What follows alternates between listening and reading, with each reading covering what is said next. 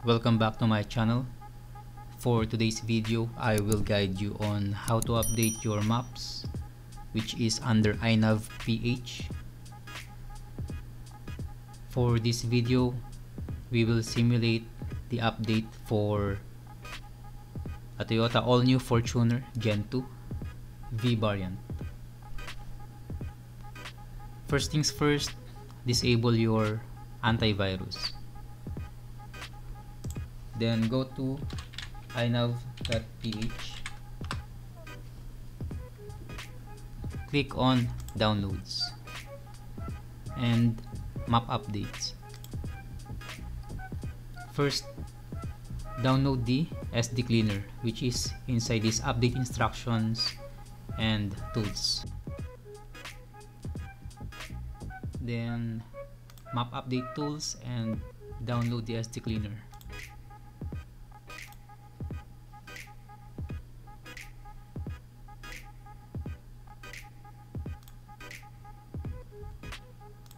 then go back. So we will be updating Toyota Fortuner. So look for Toyota and click on OEM factory installed. So far the latest is uh, second quarter of 2020 and look for Fortuner V 2016 if your head unit is a V variant uh, click on V. If it's G variant click on G.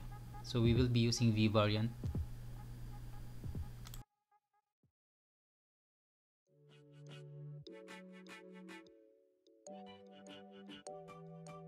Before you do any updating for safety for purpose don't forget to back up your SD card.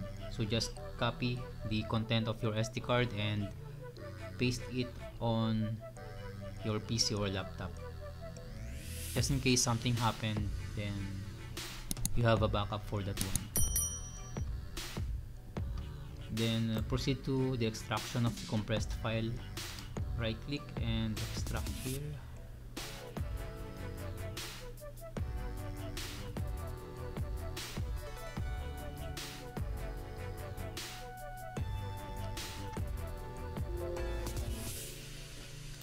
after extraction you will have this Genitech navigation sleep and updater. But only this Genitech and navigation. Those two you will you will be needing for the update. And also the SD card cleaner which we have downloaded earlier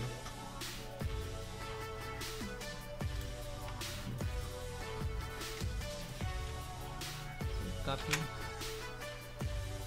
then this is the SD card from the head unit. So paste the SD card cleaner double click and run it. Ah, it's showing license not found because we are not using actually the SD card. This is just a simulation.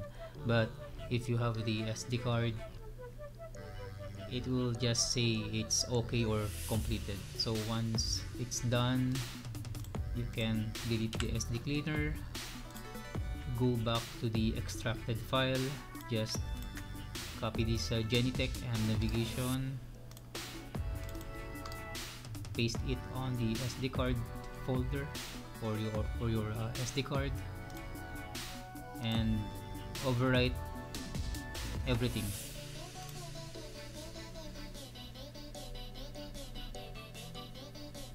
after that you can eject the SD card and put it back on your head unit and that's it. Thank you for watching